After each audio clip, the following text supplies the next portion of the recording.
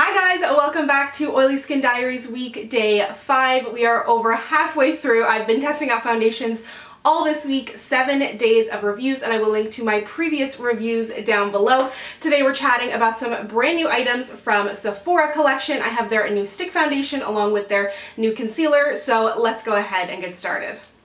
Recently, Sephora Collection, which is the Sephora in-house brand, released this, which is the Make No Mistakes Foundation and Concealer Stick. It comes in 16 different shades, which I think is amazing. I think Sephora does a really good job, their in-house brand, of having a really wide range. If you just look, because it can be overlooked sometimes, at their complexion products, it is super wide. Some of the lines have like 25 products in there of different shades, and I will link to a previous review I've done of one of their powder foundations as as well.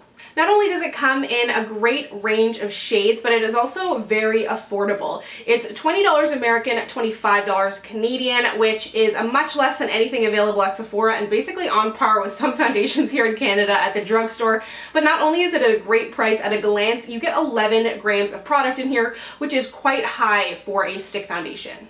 So to compare with some kind of, I guess, more popular stick foundations, I'm looking at my cheat sheet here, you're getting 0.41 ounces in here. In Makeup Forever, you're getting 0.44. In Anastasia, you're getting 0.35. And then in Hourglass, you're only getting 0.25. So this is almost double, basically double the size of one of those. The same can basically be said for the Make No Mistakes Concealer. This is retailing for $14 American, $18 Canadian. So again, not incredibly cheap by any means, but definitely affordable affordable in the spectrum of products that are available out right now because the price of makeup just seems to continually increase. And again, you're getting a great amount of product in here. You're getting 10 milliliters of product in here in the NARS Radiant Creamy. You're getting six in Urban Decay Naked. You are getting five and then in the IT Cosmetics Bye Bye Under Eye because it's kind of in a similar format you are getting eight so this has by far more concealer in here than a lot of them and this is a super thick concealer and a little goes a very long way so let's go ahead and get into application I will talk you through the claims a little bit that way as well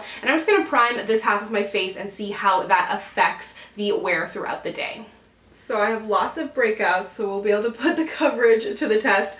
I'm wearing the shade 10 Cedar, and I'm an NC42 in MAC. It claims to be good for all skin types, have a natural matte finish with medium coverage. I really have been enjoying stick products lately, mostly Hey Rue for contour, um, but I haven't found like a stick foundation that I really love yet. I'm just to build it up slightly. I haven't tried this with the Beauty Blender. It's like a, it's a thick consistency, but it's not hard to blend by any means. I'm just to build it up on this side a little bit more. It definitely seems to have a medium coverage. It feels really nice and light on the skin. And let me know down below what your favorite Sephora collection products are. I love their airbrush foundation and I love their um, cream matte lip stains. Those are awesome.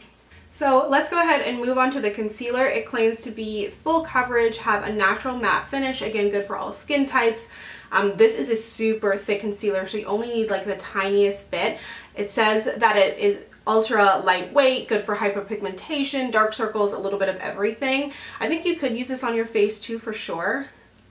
I, I have one that's a little bit more, um, a little bit lighter than my skin type to try and brighten up my under eyes a little bit and I do really like it. I wouldn't say that it's incredibly lightweight because it is so full coverage and thick but it doesn't feel heavy under the eyes but go really lightly. And I'm wearing the shade 10 Vanilla Bean and these concealers go really deep. Um, I feel like a lot of the time concealers are, they go to like medium deep or like a fake deep, but these seem, when, when I saw them in store, they go seem to go really deep. So I think it adds a really nice amount of brightness under my eyes. It doesn't feel heavy on the skin, um, and it does really give a lot of coverage. I'm sorry, my cat is meowing a lot. So I'm to go ahead and put on the rest of my makeup and we will chat about the flash photo test. So far I think it looks really good. It has built up to a medium coverage, feels incredibly lightweight on the skin, especially the, uh, the foundation feels so lightweight and I have worn this a few times and it has performed well so I'm curious to see how it performs during this test. I have just primed this half of my face and as of right now they look about the same but we'll see if that helps with longevity. I have the rest of my makeup on now and not only do I love the way that this foundation looks, it just looks like nothing on the skin. It is so beautiful and buildable, but I also love the way that it feels or doesn't feel because I cannot feel it on my skin at all. So that is a great start for me. The concealer as well, it looks really good. I'm wearing one of my favorite Sephora cream lip stains. I will list everything that I'm wearing on my face down below. As for photo test, I think it performed really well. It doesn't have any claims to have SPF in there, but sometimes things can get a little bit wonky. So when I took a photo just here in my studio lighting, I thought it looked really good, quite natural on the skin. And then in flash photo, I think the foundation performed really, really well. There's definitely a lot of lightness under my eyes, but I think that that's the Makeup Forever powder I used to set under my eyes. But as you can see, the rest of my actual face looks quite good, and I have worn this a few times and not had any issues with flashbacks. So, and as I've said before, I mean, there's very few times that I'm out at night taking photos, so it's not a huge issue for me, but of course, something to be noted because there's nothing worse than after a night out, taking a look at your photos and you're like ghostly in a group of your friends. So anyways, I'm gonna go ahead about my day and I will check back with you midway to show you how this is all holding up. So it is time for my midday check-in. I have been out all morning, so I'm doing this a little bit later than normal. I am gonna blot, however, it is like, oh man, it's really bad outside. It's like 30 degrees, but the leaves are also falling. It's really confusing, global warming. Anyways, I think that the foundation looks really good considering my face was like actually sweaty because it's so hot and humid outside. And I got an Uber home and I just kind of like let the wind blow on my face and let the sweat kind of go away. Is that too much information?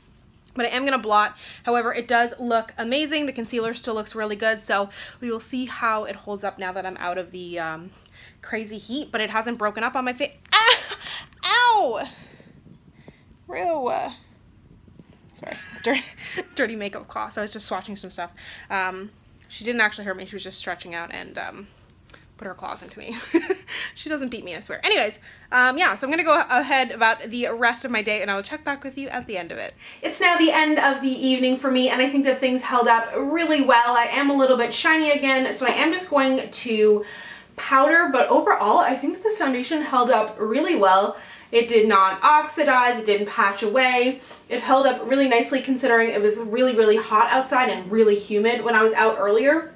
So that to me is super impressive. It does a good job after I've blotted and powdered because sometimes foundations, if you are oily and you go to blot, sometimes it can remove the foundation and that's not the case here. It has a really nice buildable amount of coverage, a great price, you get a lot of product in there, lots of shades, and I haven't actually tried it as a concealer. I don't have a shade that's light enough for me, but I do think it could act like a really great cream contour as well. The primed side was slightly more mattified than the unprimed side, but I gotta say I'm really impressed with this foundation. I think it would be great for oily skin. If you have combination or normal, I think you'll like it as well. And I didn't find like it was an incredibly matte finish, so if you do have dry skin, you may be able to get away with it. If you have tried this foundation, no matter your skin type, be sure to let us know down below how you enjoyed it. But overall, I will definitely be continuing to wear this, and I just love the stick format. I think it's so easy to use. And as for the concealer, I like it. It has settled in my lines a little bit, but I mean, it's the nature of the beast with concealer. Uh, it's nothing that is super intense and no more than any other concealer it does on the average day. Again, same can be said for the concealer as the foundation. Great amount of product in there, great number of shades, and it seems to live up to its claims of being quite full coverage. Overall, I really like both of these products. I definitely recommend that you give them a try. I think Sephora collection can be totally overlooked sometimes and I think that they make some really great products and they're a really good price as well. So let me know down below if you have tried this product and be sure to stay tuned for tomorrow's video. I have another stick foundation in the works. If you'd like to connect with me, you can find me on Instagram, Twitter, and Snapchat at Samantha Jane YT and I'll see you guys next time. Bye!